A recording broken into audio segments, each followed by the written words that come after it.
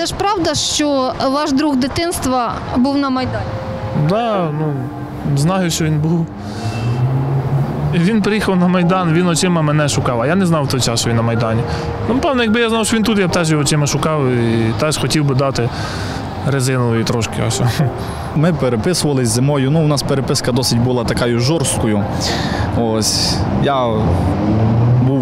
Я не розумів, як це так можна. Ось ми дуже сварилися з ним. А він теж е, не розумів того, що треба.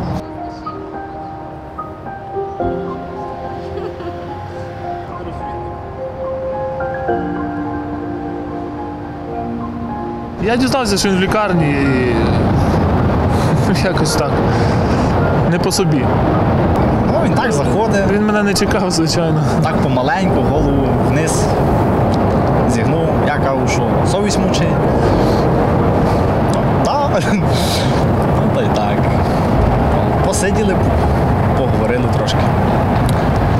Він пішов, я обіжений. Обідно було за те, що ну, жили скільки, знаємо одне одного дуже добре. Ось, а так вийшло. Я його переконував мені було обідно, що він там, що він ще не перейшов на нашу до нашу, ну, за нас, що він не за владу, а не за народ. То й було обідно за це.